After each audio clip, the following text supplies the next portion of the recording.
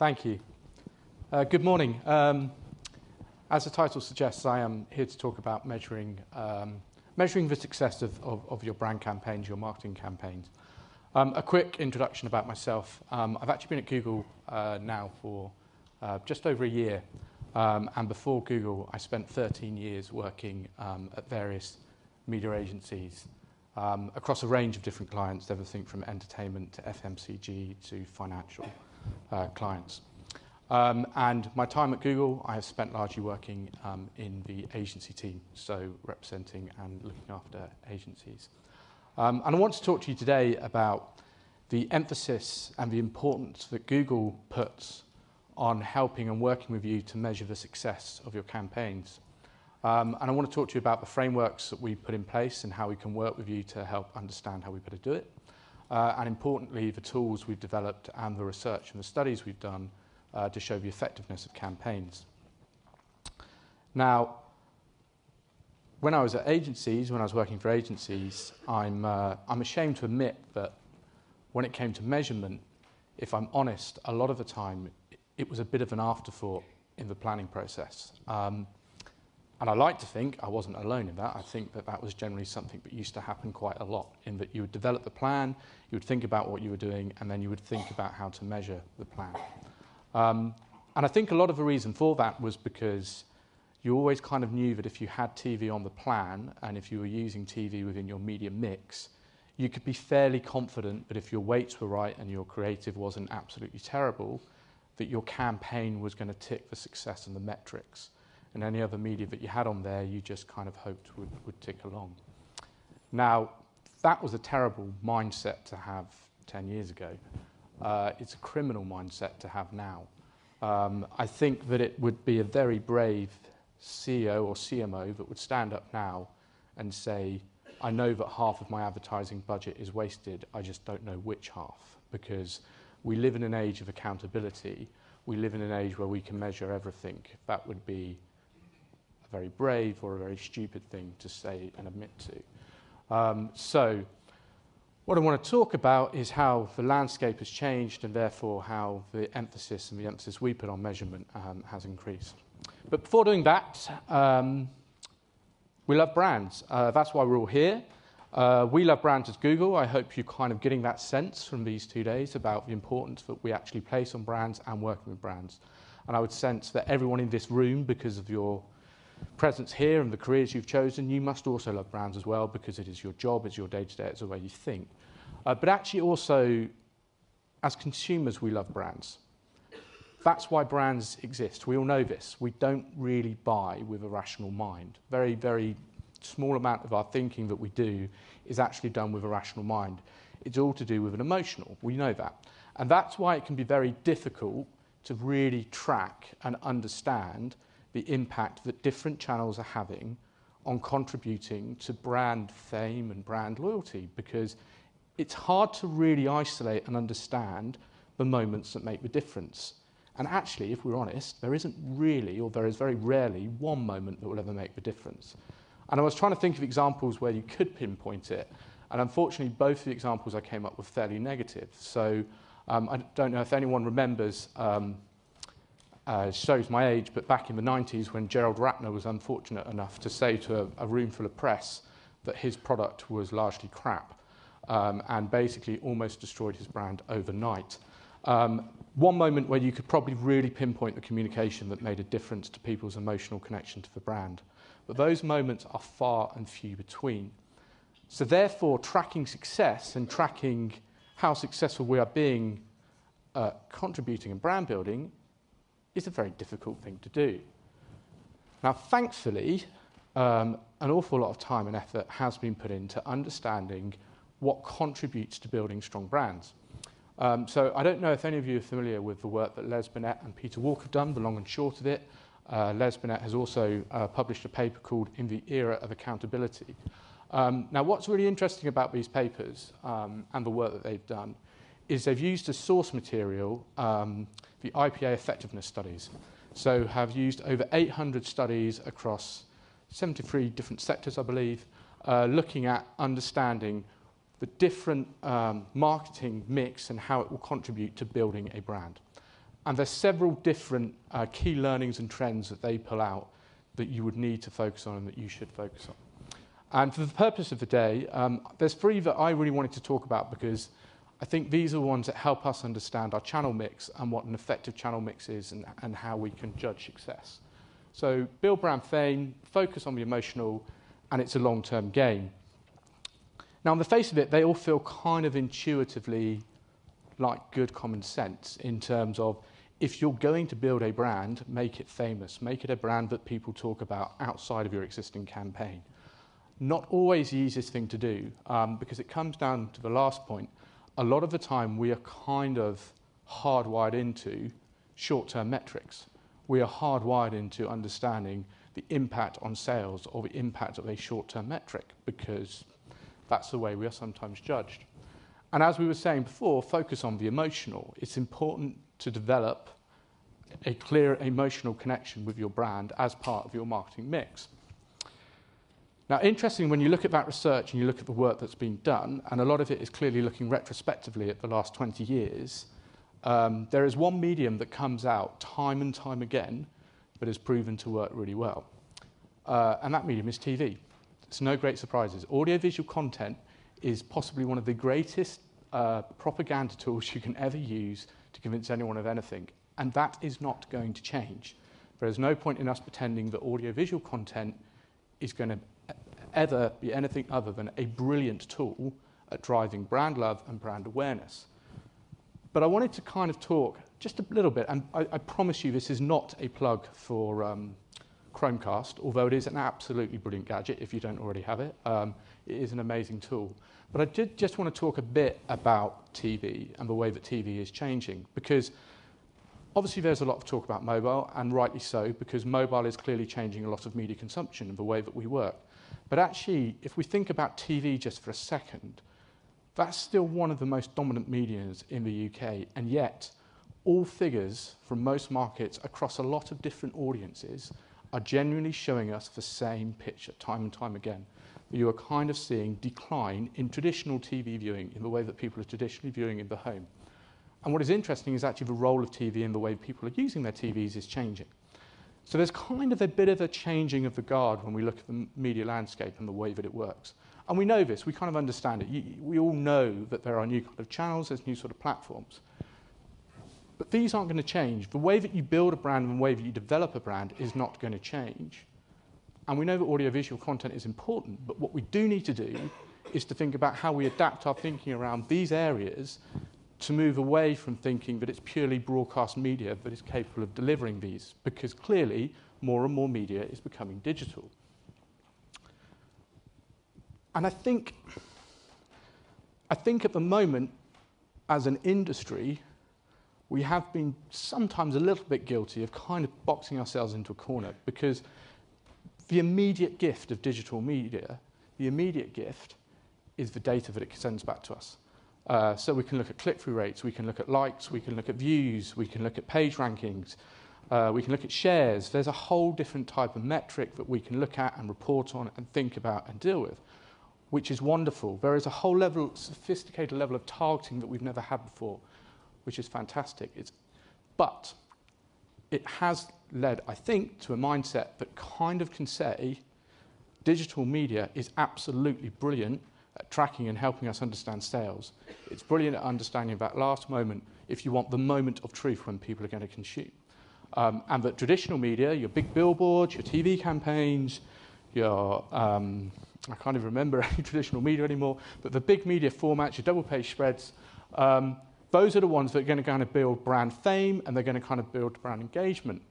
Um, and I think if we, if we think like that and we maintain that, what you end up with is even when digital channels are being used to try and build brands, some of the metrics that we're using and the way we're judging them are still quite short term. We're still using the same language to think about it, and it's giving an unfair representation of the impact that digital media is having on your overall brand plan. So, how at Google do we go about thinking how to kind of unlock and address that problem? Um, so I'm aware you've had a, a, a couple of frameworks put up um, throughout these two days, but there's one more that I wanted to share with you. Um, that since I've been working at Google, I have found unbelievably helpful in helping me to really sort of unpick uh, what my plan is doing and then design um, a measurement plan around it. So here it is. See, think, do, care. Uh, four very simple stages um, of thinking about uh, consumer mindset uh, with your brand. Um, and what I'll do is I will walk through each one of these different stages. Um, and last night when I was thinking about it, I thought actually it would be helpful if I kind of gave you uh, top line examples of how that might work for different brands. And funnily enough, as I was thinking about it, I thought, well, a hotel brand, as I was in a hotel at the time, and an alcoholic drink brand would probably be two good examples. Uh, so I will, I will give examples as I walk through it. Um, and where this really uh, plays into is we, as we think back to the brand fame and it's a long-term game and how that works. I think this helps us organise our thinking in terms of what it is that we want the different channels to do and how we want them to work together. So to begin with, see. See, you need to think about your largest addressable qualified audience. Um, and increasingly, there's a lot of work done. And when you think about brand fame, previously there's been a real like, how can we define the audience? What can we do? How can we narrow down it? And then how can we buy broadcast media to reach this retargeted audience? Actually, if digital has given us anything, and it's given us a lot, it's ability to actually define quite broad audiences, but target them really effectively. So, in thinking about your largest addressable qualified audience, if I was to think of a hotel brand and to think, right, this is anyone what you're, who you really want to target is anyone who might ever travel, anyone who might ever go on holiday, anyone who might ever travel uh, to go uh, for work purposes, um, anyone who is of age that they can travel, and most importantly, anyone that has money. But you can define that audience and you can buy that audience and optimize against that audience effectively. Uh, then, in terms of a drinks brand, uh, for an alcoholic drinks brand, your largest addressable audience, uh, I would argue, would be anyone of legal drinking age who likes to drink. Uh, it's fairly broad audience, but in terms of where you would go and targeting, legal drinking age, anyone who wants to drink. Coming down one stage, you then want to think about okay, we're talking to that audience. The next stage is how do we tar- target an audience with some commercial intent? At some point where the mindset will be they're kind of getting into category and they're kind of thinking about what, they're, what they'll be doing. So in the case of a hotel, that is clearly going to be anyone that is researching either a holiday or a business trip. Uh, and we know there are enough signals around our digital channels to help us define that audience. Uh, in the case of a drinks brand, for me, this becomes uh, less about using digital signals and more about just using common sense and thinking about the targeting of the brand because actually you would be targeting a drinks brand anytime around Friday nights, Saturday nights, when the weather is hot, when it's someone's birthday, when it's a barbecue, when it's Tuesday, when you have finished work, any occasion we would choose to celebrate, which thankfully for a UK audience is quite a lot of times. There is a big audience for you to think about targeting. Then we move down one more level and you think about do. Okay, what would my do audience be? So again, with a hotel brand, this is certainly where you've got brands, where you've got an online transaction. This becomes a lot easier to understand because here really is where I think a lot of digital media has been traditionally playing and playing very well. This is for kind of how do you optimize for the last click? How do you make that absolutely work? And what communication are you doing there to make that work and to make that work effectively? But even for a drinks brand, I think this is interesting. Um, because actually, how are people using mobile? How are people using messaging? Because for me, this do brand is the second someone walks into a bar. It's the second someone walks into a drinks aisle of a supermarket. Um, and having worked on drinks brands, one thing that rarely changed was that the decision of which actual brand to buy is made in the five seconds between entering a bar and walking up to a bar. So there's clearly a lot of collateral and stuff around there, but there's still a real opportunity to think about how you target and how you use your communications at the do stage. And then finally on to care. So there is different ways of uh, defining consumer loyalty or lifetime value, and everyone will do it in a different way. Um, two ways I was thinking here. Um, certainly, when you've got transactional clients, one of the ways sometimes we think about doing it is it's any client that's bought with you twice. The first time, if they bought with you, it may be because they had no choice or they wanted to try you out. If they buy a second time, that's kind of suggesting a sense of loyalty. So when you've got that kind of customer loyalty, then you start to think about how you target with them. Again, with brands where you don't, where your purchase isn't necessarily online and most of your sales are offline, this loyalty one can be a harder nut to crack, definitely, and I agree with that. But there, I think, um, and I'm not saying this is the only role for branded content, but that's where branded content becomes quite interesting for certain brands because if you're getting a regular viewer of your branded content, I would argue that could be akin to loyalty, and you may want to think about how you adjust uh, your campaigns to suit that. So, a framework see, think, do, care about understanding how you're organizing your communications and the different objectives you're wishing to achieve with them. Once you have that framework, then you can start to map onto the framework the different channels you may wish to use to help you achieve those different objectives. Now, the listing I put up there is uh, pretty much a generic listing of most channels you will see. So please do not take this as a media recommendation for me saying how any of this works. But it is to give an understanding of what you would be doing and how it would work.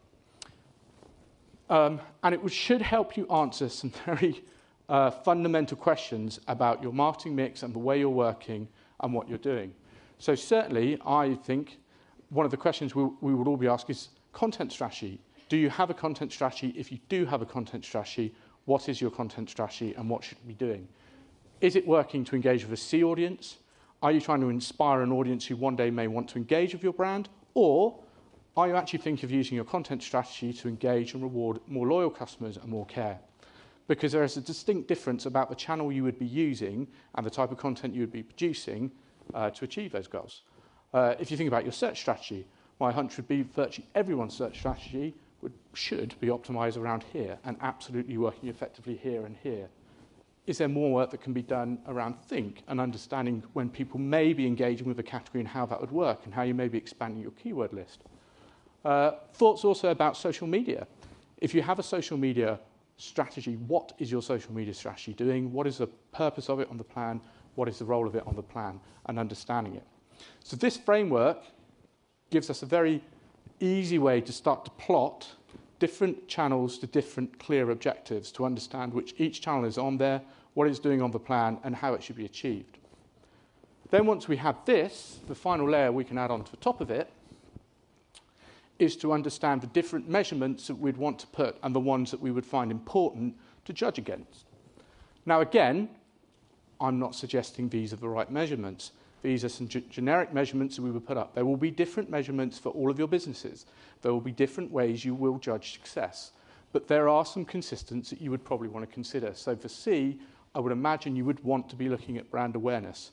You would want to be looking at your uh, brand sentiment. You would want to be understanding what impact that channel would have on driving awareness and sentiment. Where it comes down to care, actually, you would want to understand how that was driving repeat purchases you would want to understand whether people would be sharing content and whether they'd be likely to recommend your brand. Are your loyal customers likely to evangelize about your brand or not? So there's a whole set of different measurements that you would be setting up against that framework. So, if you understand what you want to do, you understand the objectives you have, you understand the channels you want to use, and you understand the measurements you want to have. What I wanted to wrap up on and finish is just to talk a bit about some of the tools we use and some of the tools that we have and we have developed, and also some of the studies we have and have developed to help us understand um, and to help you and to work with you um, in the measurement. And some of these, I'm sure some of you may have already used, but if not, I would please urge you to use them. So, the first one I wanted to talk about was brand lift surveys. Um, so how many people in the room are aware of brand lift surveys or have used them? Okay, okay, so it's, it's a smattering, so that's good. Um, just to give a, an update then on those who have used it and for those who have not, brand lift surveys are, are a brilliant way basically of understanding the impact uh, that your YouTube activity is having on your campaign. Um, so it will be set completely live for you. There's nothing that you need to do to set this campaign up. Um, and the way that it will work is that um, a control group of people who have not been exposed to the ad and a group that have been will be asked questions understanding um, in terms of campaign awareness, uh, in terms of brand awareness, um, and also um, we track um, user intent as well by looking at search behavior against exposed group versus the underexposed group. So you have an understanding of exactly the impact that your campaign is having in terms of your brand awareness, but also your intent. Um, in terms of this, will now be rolled out cross-device. It hasn't always been uh, available on mobile, but this is now being rolled out cross-device, so we can track and understand the impact of viewing it on mobile. Um, and in terms of spend, this is, uh, this is our gift, a gift to you, basically. In terms of all we really look for and understand is um, we obviously need a certain robustness in the data to make sure we get a read on what's going on and to understand it. And so a spend, we, we kind of recommend a spend of about £10,000 uh, pounds a week to get a robust kind of reading and understanding, but otherwise absolutely no cost uh, to yourselves for having research as part of the campaign.